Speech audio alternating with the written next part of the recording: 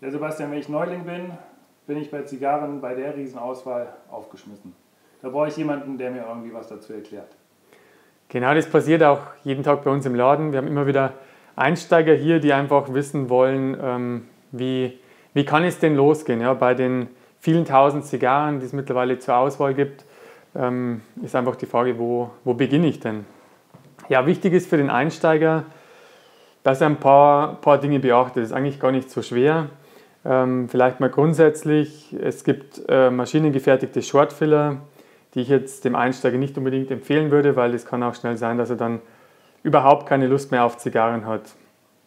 Ähm, die erkennt er zum Beispiel daran, dass die vorne und hinten angeschnitten ist, also das heißt ähm, rauchfertig angeschnitten ist, ähm, sind meistens sehr günstig, aber eben nicht unbedingt zu empfehlen.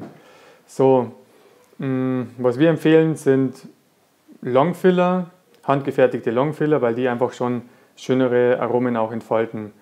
Das Allerwichtigste bei der Sache ähm, beim Einsteiger ist einfach, dass er sich für milde Zigarren entscheidet, also die nicht so viel Nikotin haben, die auch ähm, noch nicht so intensive Aromen entwickeln, weil ansonsten kann es sein, dass er nach einem Drittel schon ja, vom, vom Stuhl fällt und ins, ins Bett kippt und im schlimmsten Fall sich sogar ja, übergeben muss. Ähm, auf jeden Fall wird es ihm dann ziemlich schlecht ähm, gehen erstmal. Ja, also mild ähm, ist, das, ist das Schlagwort. Jetzt ist die Frage, wie, wie kommt man zu einer milden Zigarre? Es geht eigentlich nur über, über Beratung. Man kann nicht mehr sagen, dominikanische Zigarren beispielsweise sind mild. Ähm, das denken immer noch viele, viele Menschen, aber dem ist überhaupt nicht so.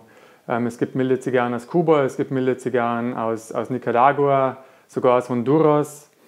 Und ähm, daher ist das Land wirklich erstmal nicht zu, nicht zu beachten. Ja, worauf sollte man noch achten? Wir haben jetzt hier zum Beispiel eine ähm, relativ günstige, günstige äh, milde Zigarre, hier von, von Domenico mit hellem Deckblatt. Die liegt bei ungefähr 5 bis 6 Euro. Ähm, jeder kennt hingegen Cohiba, die auch ein bisschen, bisschen kräftiger ist. Ähm, eine Cohiba kann aber schnell auch 30 Euro kosten. Das ist dann auch für den, für den Beginner, für den Neuling auf jeden Fall ja, zu viel des Guten, weil er kann diese Zigarre eigentlich noch gar nicht richtig schätzen. Dann gibt es ähm, verschiedene Formate, wie hier zum Beispiel diese Gordo von Alec Bradley, die Black Market Gordo. Ist dann auch für einen Einsteiger absolut ungeeignet natürlich. Auch kräftige Aromen ähm, und eine Rauchdauer von circa eineinhalb Stunden. Damit kann der Anfänger auch nichts ähm, anfangen. Ja. Äh, zu guter Letzt Riesenformate äh, wie diese hier von Arturo Fuente gehen natürlich auch nicht. Was abschließend vielleicht, was eine schöne Möglichkeit ist, ähm, sich dem Thema Zigarren zu nähern, sind sogenannte aromatisierte Zigarren wie hier diese Vanille-Variante von Prodomi, weil die sehr angenehm sind und dann eben so süße Aromen mit manchmal ein bisschen Holzaromen verbinden und ähm, ja, dadurch auch natürlich für den Einsteiger wie, wie gemacht sind.